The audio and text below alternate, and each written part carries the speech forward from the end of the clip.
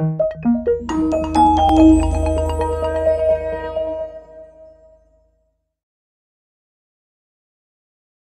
café temático eh, trata de ser siempre un espacio de reflexión sobre todos los ámbitos en donde cada mes tenemos un tema diferente de reflexión y en este caso vamos a hablar de creatividad e innovación. Hoy yo quisiera destacar, hoy tenemos como invitado especial al doctor Alejandro Pichitelli. Doctor Alejandro Pichitelli lo hemos tenido esta semana aquí en la universidad, se ha vinculado a nuestro café temático eh, y quiere participar también de la conversación que vamos a tener respecto al tema. Tenemos invitada también muy especial cada mes en la participación que hacemos de la planificación de los contenidos del café temático a la doctora Marta Sen, que siempre desde el Centro Cultural está apoyándonos con todos los procesos de reflexión sobre los temas que abordamos y que de alguna manera nos vinculan. Tenemos pues de alguna manera invitados siempre muy especiales, está también con nosotros la doctora Claudia Sea, que, quien es la cabeza del proyecto de, de Proyecto 50. Y obviamente cada uno de ustedes es un invitado muy especial de, de Proyecto 50 y siempre son bienvenidos para todos los procesos que estamos desarrollando en estos espacios de reflexión. Yo quisiera abordar un poco que eh, tema que hemos estado tratando de, de, de, abordar en esta reflexión es que cuando abordamos temas como innovación y creatividad,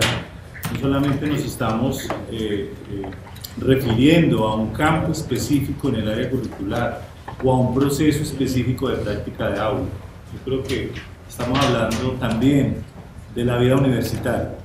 Estamos hablando de la estructura en donde es necesario repensar, revisar y confrontar la universidad en general, la universidad que llevamos dentro, la universidad que nos habita, pasa por los conceptos de innovación y creatividad. Y es parte pues como de la reflexión que desde la línea de, de, de formulación de este conversatorio se había abierto porque eh, conversando con, con, los profesores que han trabajado en la universidad temas tan puntuales como innovación y creatividad, en ingeniería de diseño, en sistemas, en música, en, eh, en humanidades. Tuvimos acercamientos muy interesantes con una, una tertulia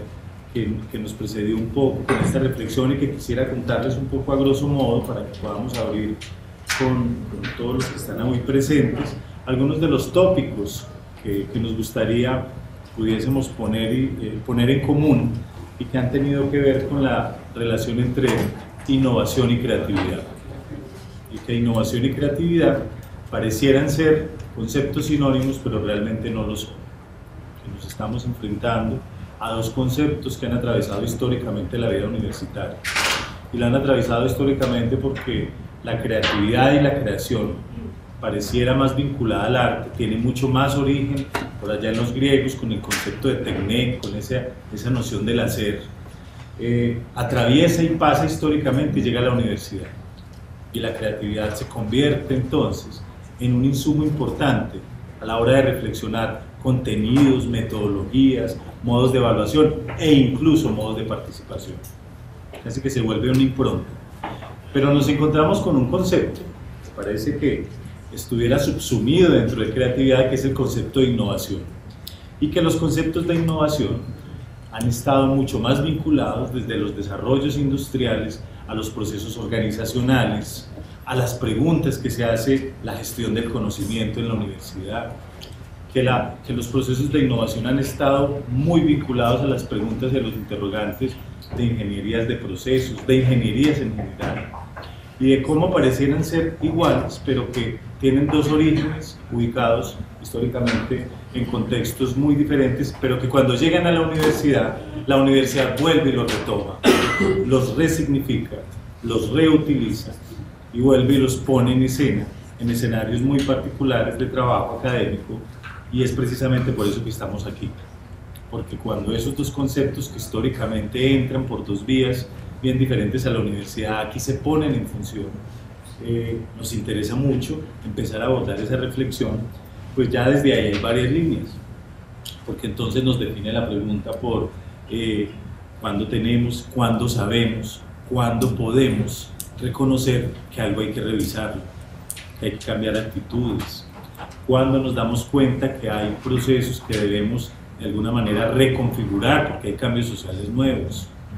cuando nos enfrentamos a la posibilidad de reconocer que la creación en la universidad también está vinculada a la investigación y que la investigación está de alguna manera en el centro de la vida universitaria. Todas estas preguntas empiezan entonces a, a palpitar en las carreras de manera diferente.